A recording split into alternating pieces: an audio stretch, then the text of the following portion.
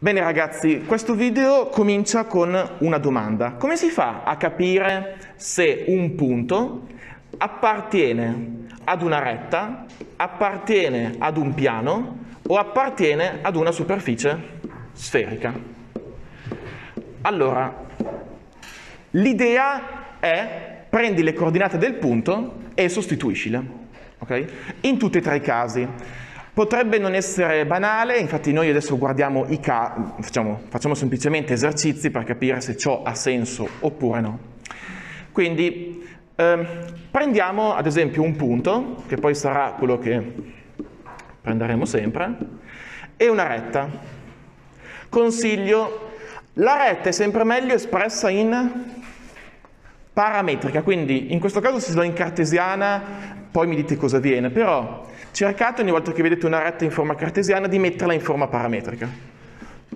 E allora ho x uguale a t, y uguale a 1 meno 2t e z uguale a meno 1. Beh, cosa devo fare per chiedermi se il punto appartiene alla retta?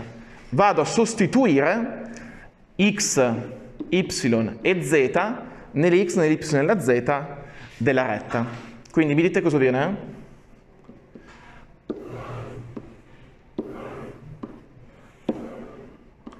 Allora, dai, x fa 0, quindi viene 0 uguale a t.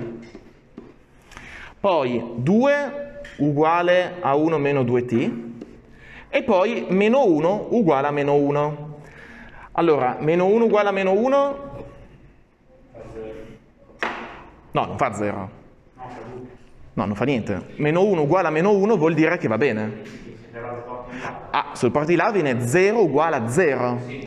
Attenzione che molti pensano allora di scrivere lì t uguale a meno 1. T. Ragazzi, quello lì va bene, significa che va bene per ogni valore di t.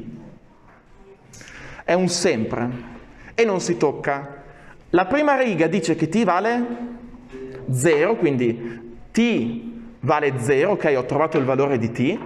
Vado a sostituire il valore di t qui dentro e mi viene un 2 uguale a 1 che è una cosa falsa. Una cosa falsa distrugge completamente un sistema e quindi il punto semplicemente non appartiene alla retta. Come faccio invece ragazzi a trovare un punto che appartiene alla retta? Un esercizio potrebbe essere questo. Beh, a parte che dovrebbe venire tre cose verdi. Tre cose verdi significa ok. Eh, quindi magari dovremmo cambiare il valore della y affinché sia giusto. Mi sapete trovare a mente il valore che deve avere la y, magari, che è la riga che mi ha dato problemi, affinché questo punto appartenga alla retta? 1? Allora, noi facciamo così. Visto che ci chiediamo questa cosa, ci chiediamo qual è il valore della y, ok, che deve avere questo punto affinché appartenga alla retta? È una domanda. Una sorta di... boh, poi verrà un'equazione. Quindi vado a sostituire e viene 0 uguale a t. K uguale a 1 meno 2t, meno 1 uguale a meno 1. Allora, meno 1 uguale a meno 1 va bene. t uguale a 0 l'ho trovato, t uguale a 0, quindi vado a togliere meno 2 per 0 e come avete già detto, giustamente, il valore di k deve fare 1. Quindi qui, ok, ho detto, guardate che se k fa 1, allora ho trovato il punto corretto.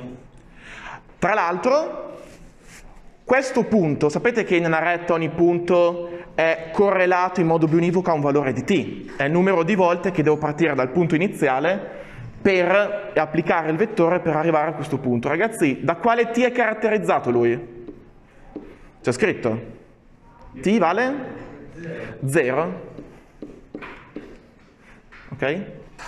E infatti questa retta si poteva scrivere, se uno ci guarda, sapete che si può scrivere come un punto più ehm, t volte il vettore direzione. Se uno guarda il punto iniziale era proprio 0, 1, meno 1. il punto, questo qua, P, più il vettore di reazione che è 1 meno 2, 0. Ok, quindi questo è un esercizio molto semplice.